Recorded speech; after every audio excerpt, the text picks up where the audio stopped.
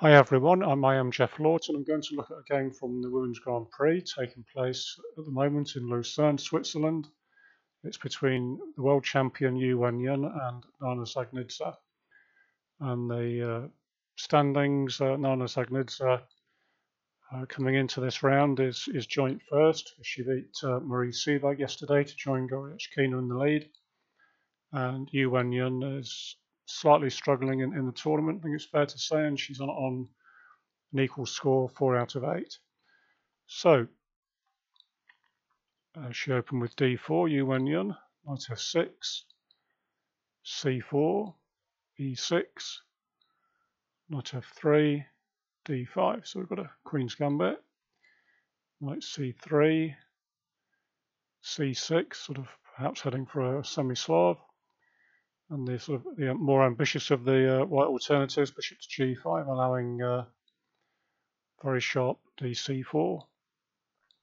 We had knight bd7, perhaps heading towards uh, you know, Cambridge Springs uh, variation, but Ju Wenjun uh, changes it into an exchange variation, cd5, ed5, and now queen c2. So we have uh, like a standard line um, in the exchange now, both sides develop. Bishop e7, e3, castles for black, bishop to d3, rook e8, and now h3, which is uh, slightly unusual, I suppose, uh, compared to castle and king side is the, the move that's most often played. So knight f8, and again bishop f4 sort of um, again not the main line uh, usually uh, well the idea of this is to sort of pres preserve the bishop because usually this piece will get exchanged after black's uh, intended maneuvers so an interesting choice from Ju. Knight g6 bishop back to g3 and now bishop d6 uh, swapping off uh, this piece Bishop takes d6, queen d6, and now castle's queenside. This is um, Ju Wenjun's idea is to have play on both sides of the board. So, you know, she's obviously going for a win, and she can uh, catch up with her opponent on five points. And uh, you know, it's it's ambitious play. So let's see how it goes. We have b5, so we're going to have opposite side attacks in the game. g4, and a5. So both sides are just gaining space on the uh, attacking side. Now g5. Sort of waiting for the knight to go back, and then um, Ju's plan is just to push on with h4. But uh, Dzagnidze played a sort of really interesting move, uh, b4. Not worried about uh, pawn takes knight. So Ju played knight a4. And gf6 is it is interesting actually. Um, then after after BC3, uh, F takes G7, it's sort of difficult position to know quite what's going on. Both sides have got these pawns advanced. For example, if you play um, CB2, white can play King B1. It's not the standard way to um, hide your king behind the opponent's pawn. Uh, should be reasonably safe unless they can land a knight here, which is not likely in this position.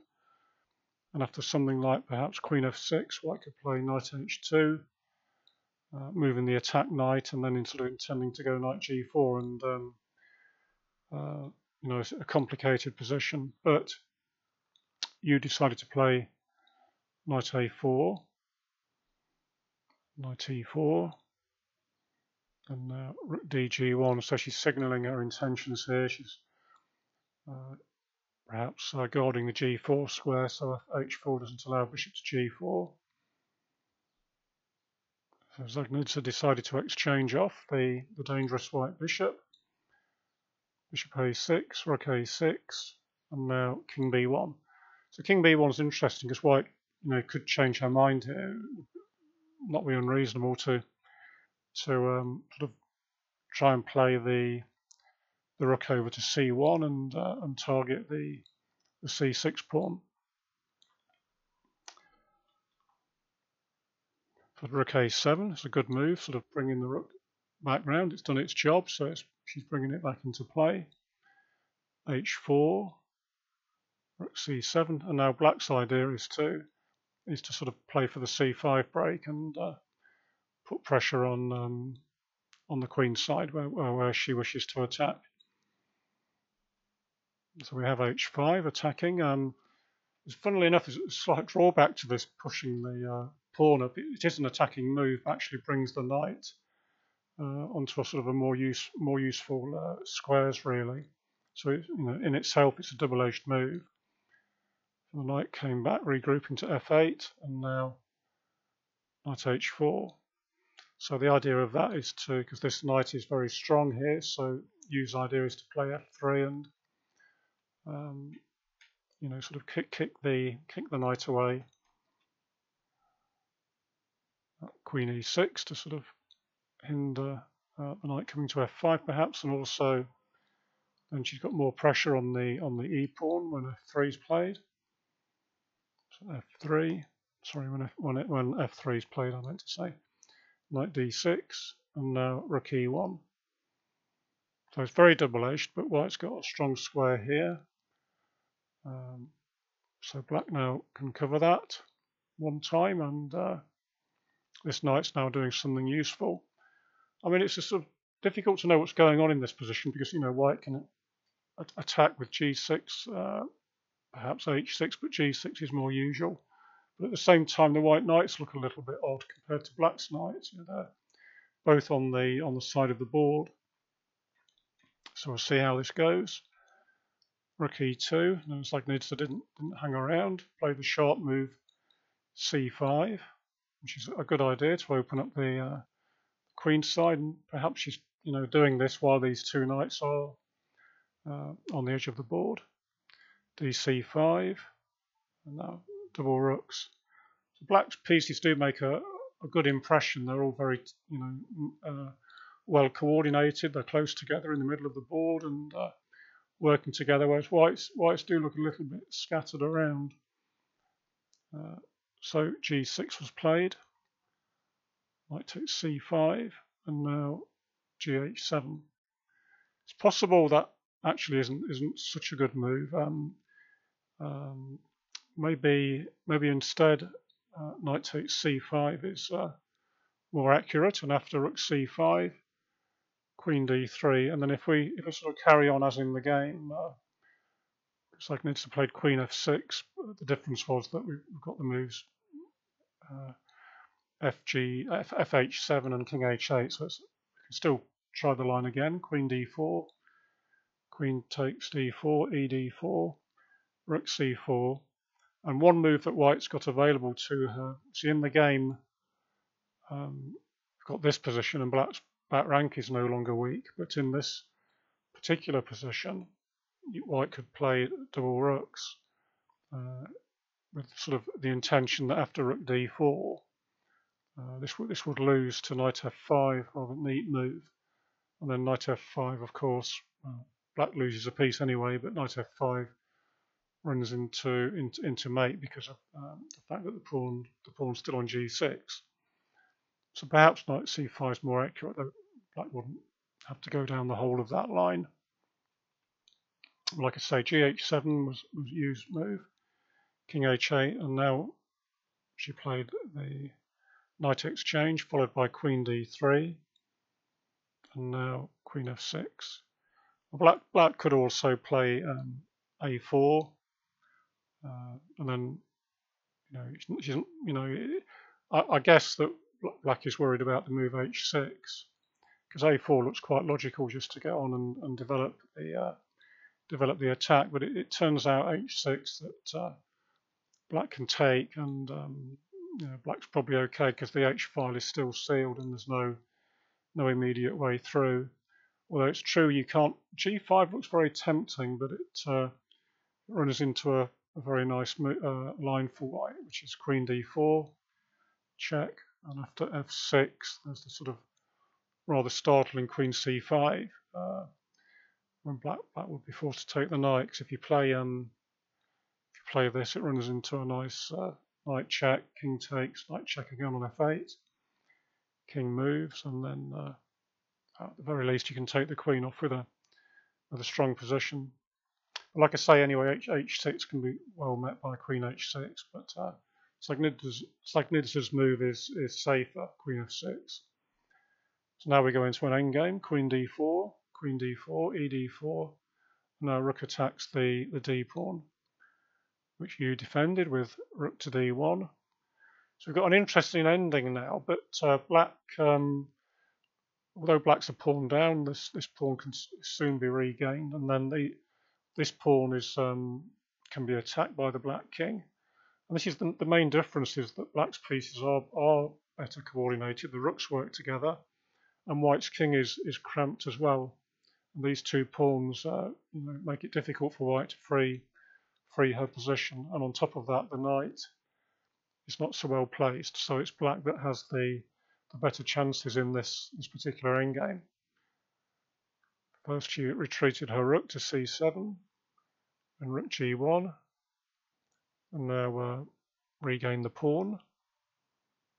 Doubled on the g file with rook e g2 and now f6 to prevent that.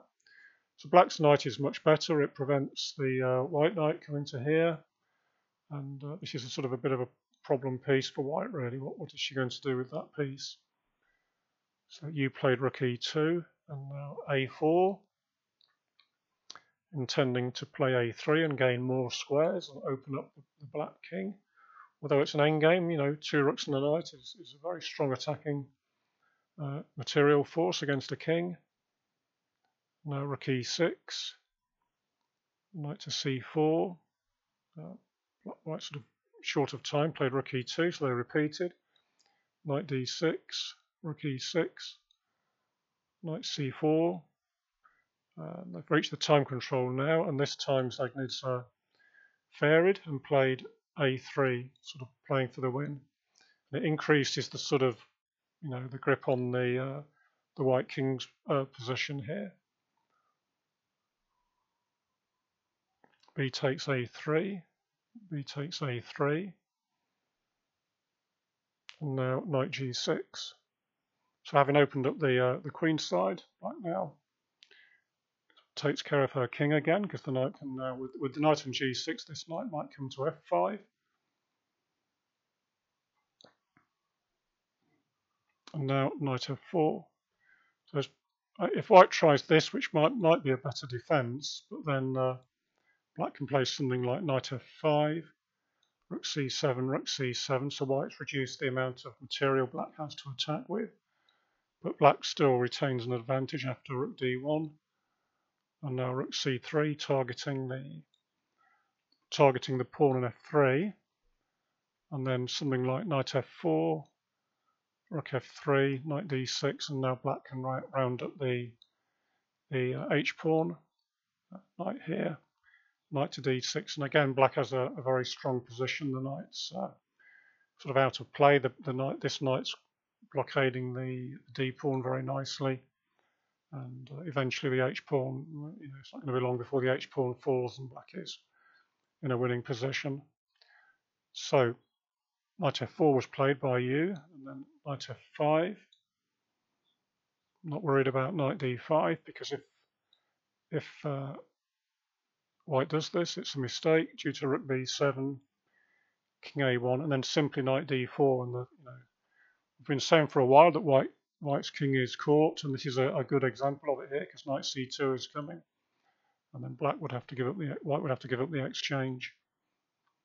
So Ju played knight e6. Now first, uh, king was driven into the corner, king a1. You can see why why she's advanced down the board with a3 now. And now rook e7 putting pressure on uh, white's pieces again. Rook b1 hoping for an exchange, but uh, rook e8 uh, doubling up and putting more pressure on the, the e line. Rook e1. Now the king uh, advanced, uh, and this is the main difference again, like I was saying, often white is stuck on the e file, she can't move anything, and the king is cramped. So Ju played knight f4. Uh, king b1 is uh, was a sort of alternative, but um, it's still it's still a good position for black. after something like uh, rook c8, uh, rook c2, black can trade rook c2, king c2. Uh, then then rook e6 would win in this position, so white wouldn't be able to uh, knight d4, king c3, knight e6, so white wouldn't be able to free her, her king easily. So in the game, the only other move was knight f4. We have an exchange of rooks on e2, rook e2, rook e2, knight e2, and now king h5. So we've reached um, now a knight and pawn endgame, but they're, they're known to be you know, very good if you're a pawn up and you've got better pieces. You know, there, there is a sort of rule that they're a little bit similar in that regard to a king and pawn ending, where you've got an extra pawn. Doesn't always apply, it will win for the extra pawn, but um, the main problem here again for white is their king is absolutely miles away from the, the king's side, but, uh, but Ju still makes a, a fight of the game. She played king to b1 and now knight e3 which was a little bit curious at the time because we were thinking well the obvious move is king h4 which probably is a, an easier way to to play a stronger line board but this you know uh, Nana's move is also good but it's less obvious because after for example something like this king c2 g5 you know black's attacking over here white uh, can play king b3. Uh, if he plays king king to d3, then black just plays king h3 to g2 and can uh, get a very strong past uh, g pawn. And then after king h3 anyway, king takes a3, king g2, sort of just to show you an idea of what happens in the pawn race. Black is a long, long way ahead. Um, after something like knight g1, king f2, knight check, trying to slow back down, king g2, a4, just to show you that white is a, a long way behind. Uh, king c5 to stop the knight, uh, coming to stop the a pawn, and then knight e7, or trying to, king d6, knight here, king c7, and now white, black can just play this. You can always manage to get the knight here, and white runs out of time even though she can win the knight. For example, king b7, g4, king takes, g3, a5, g2, a6, and now queens. And of course, after queen takes d4, this is uh, uh, completely winning for black with um, with our extra pawns. So that wouldn't uh, that would have been perhaps a, a, quicker way to win the game, or simpler maybe, but uh, Nana played a different way, knight e3, uh, king c1, uh, g5, so it's a bit similar, but, but the white king is now coming nearer to the, uh, you know, where it needs to be on the king's side, defending the f-pawn. Knight c4 check, and then uh, king d2, king d3, sorry. I mean, sort of obvious move to try really somehow seems to be king e1, which looks like um, you know, the sort of move to do really, intending to come uh, king f2 and then uh, you know protect protect the f pawn, which needs this is where black's activity is. But um, it seems that this is still good for white for black after king h4. For example, if knight c3, you can play knight b6, and then after knight b5, coming for the a pawn. Black can then play king to g3 uh, king e2 and now knight a4 and the idea is that uh, well if you play king e3 then uh, f5 king e2 then f4 and that's even worse for for uh, white because black's just managed to advance so if white plays the only other option really is knight a3 then we've got check king d2 and then knight takes a2 uh, king here. And then just to show you that this is very difficult position, lost for white really. Black can slowly advance, f5, knight c2, f4. It's you know remarkable how restricted the the white knight is here. But black black is in a strong position because her king is uh, you know, managed, managed to get through to one of these two squares, which is where, where the king needs to be. So after something like uh, knight e1, we've got knight c1 check, king d2, and then um, nice move king f2. Um, so we can't take the knight, and if you play uh, knight c2, we can then play knight b3, king c3, and now sort of a bit similar to the game, we can take here, but we've managed to win the a pawn in the meantime, and this is very easily winning for black. After king takes g4, knight e1, king e2, knight g2, f3, knight f4, king e1, sort of simply intending f2, uh, which is totally lost for white. Knight d3, king d2, then after knight f2, g3, and okay, it's just an example of, you know, that black, this is the sort of thing black is aiming for to, to break through.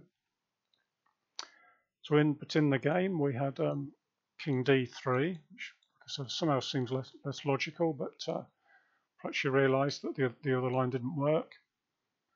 And now the black king advanced to h4, knight c3, so black uh, safeguarded that pawn.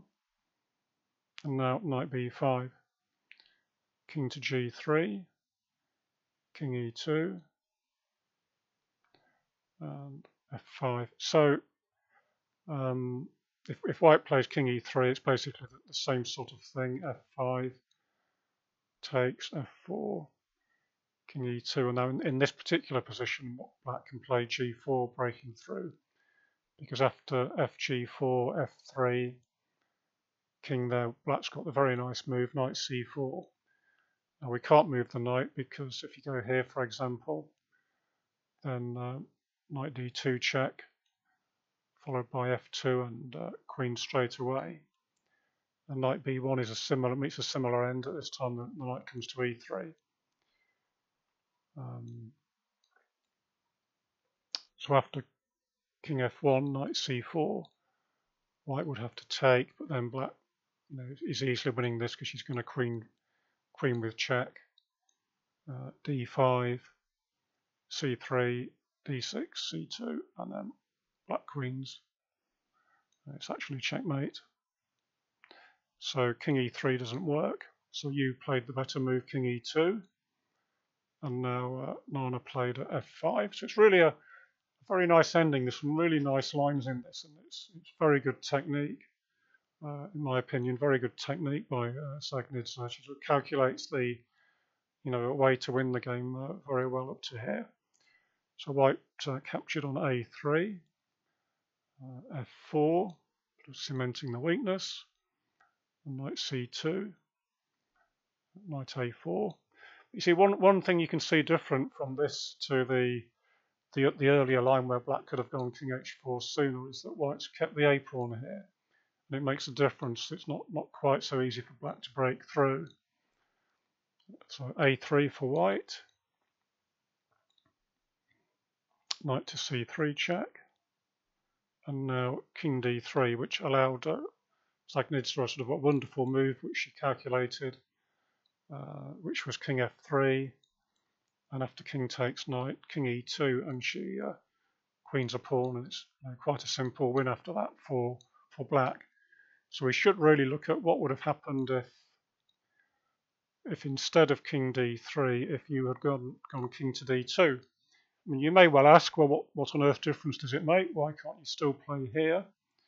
But the difference is that this time, after um, knight e1 check, instead of king c3, which will transpose to the game, and after king e4, um, that white can play king here. And after f3, there's sort of there's the move uh, knight f3, king takes, and now we end up in a, a queen and pawn ending where both sides queen a pawn. So we just advance, advance, advance, advance and queen. And then white queens. And now we get this queen and pawn ending, which uh, in the commentary Gurevich assured everybody was, was winning for black, but it's certainly not, not the way you want to have to win the game, try and win the game. But it's true that black uh, black picks up the uh, the pawn on d4 with queen c1, king b3 and now uh, queen b queen c4 and we can take on d4 which like I said Mikhail said um, actually believe there's a winning winning endgame for black. Uh, just to be clear on this, we can't play king here because um, you know it meets with the same thing, which is uh, queen c4. And uh, in this particular line, you can even take the pawn off with with check. So um,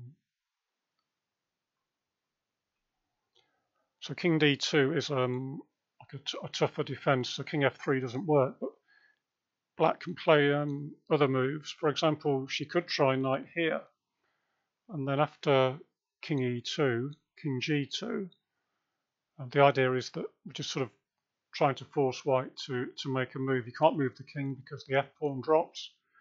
Can't, well, if you move the knight, then the, the uh, this pawn drops on, on, on a3.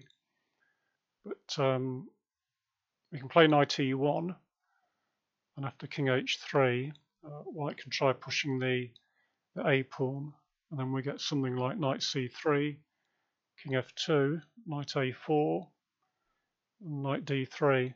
So then we end up in this, you know, very interesting position here of, of where sort of both sides are rather rather stuck. Black can't, Black hasn't managed to get the king to one of these two squares, which she had in the game, which assured her the win. Um, but on the other hand, the a pawn has fallen, and uh, know, how does Black break through? And I'm, I'm not entirely sure that it's possible.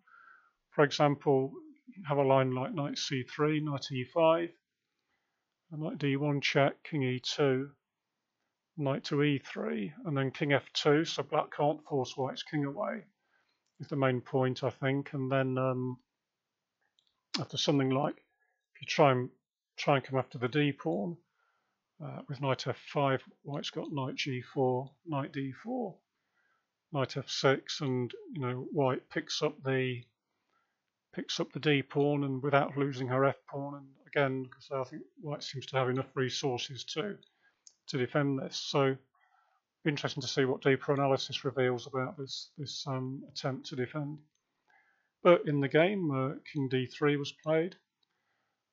And like I say, um, Dzagnidze played a fantastic King f3, and after King c3, King e2, she she accurately foresaw this um, some moves ago that uh, she gets a queen and is well ahead in the race. And uh, in, in, this particular position here, the knight you know, compared to what we were looking at before, the knight can't gain access to the e1 square. Um, so there's no way for her to bring the knight to try and stop the pawns.